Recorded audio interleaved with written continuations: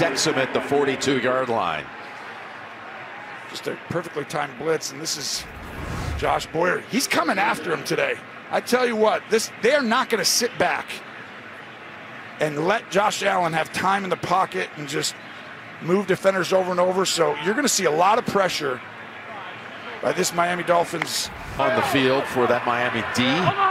All those guys up in there got to get it out. Third and 15. Got it away just in time. Is it there? Yes, it is. Down to the two-yard line. Once again, Stefon Diggs goes deep. This for 54 yards. This is just the alien, Josh Allen. He's going to go ahead, and you don't think at any moment right there how